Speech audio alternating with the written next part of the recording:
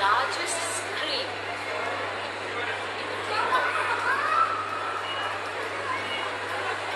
Wow. It's really fun.